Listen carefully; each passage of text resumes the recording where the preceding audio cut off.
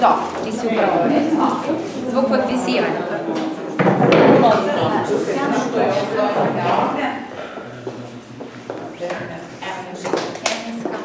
Sedite ovdje. Sedite.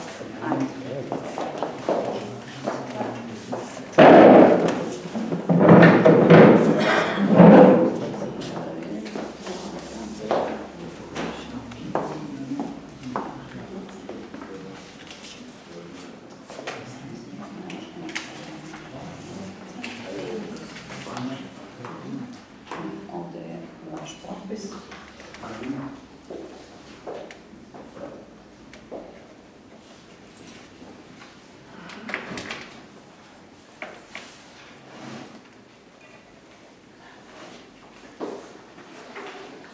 Vi pravite neki slomišlje? Sve najbolje, budućim radu. Aha, evo to je, ajde to ćemo.